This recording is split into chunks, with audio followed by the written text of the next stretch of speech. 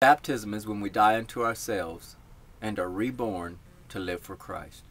It is an action that confirms our decision to die unto ourselves, a statement where we humble ourselves in submission to God to do what pleases Him. No longer do we live for ourselves, but we allow the Holy Spirit of Christ to live in and through us by learning and living in the Word of truth.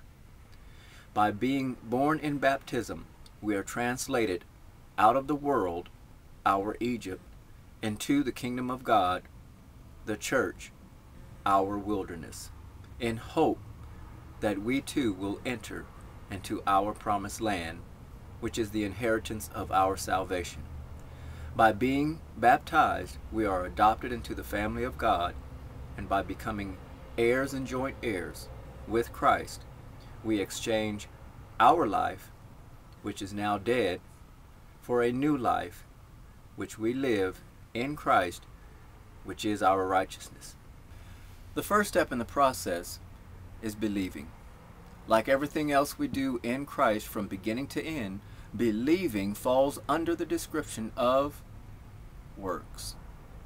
Jesus said this is the work of the Father, that you believe. Nowhere in Scripture does believing fulfill our salvation, nor does repentance, or confessing Christ, or being baptized fulfill our salvation. But by these steps it is said that we are saved, which takes us out of the world, our Egypt, and puts us into the church, our wilderness, in hope that we will enter into our Canaan land, which is the hope of our inheritance of salvation. We remain acceptable to God by grace through faith, not of works, not by going through the motions of those initial steps unto Christ, regardless of how sincere we are when we take those steps.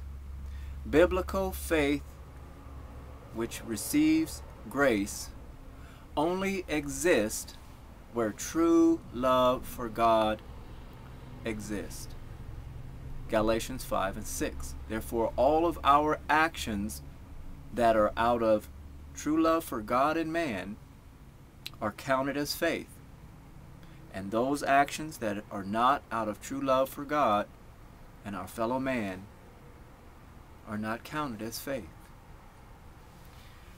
Jesus said that if you don't love me like you used to, I will remove your candle.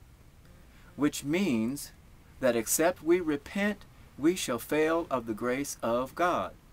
And John said that if we don't acknowledge or confess that Christ has come in our flesh, or that is, by the way that we live, the love of God is not in us.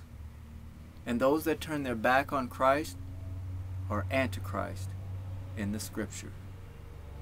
You cannot, for example, believe enough to earn your way unto heaven, or repent enough to earn your way to heaven, or be righteous enough to earn your way to heaven.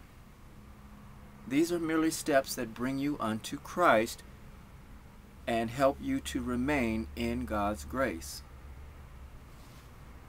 For many Christians, faith means that they can believe strong enough to earn salvation.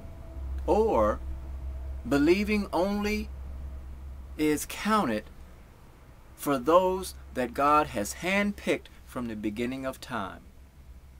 They don't realize that believing is the first work ordained by the Father for all mankind, and that God is not willing that any should perish, but that all, all should come to repentance.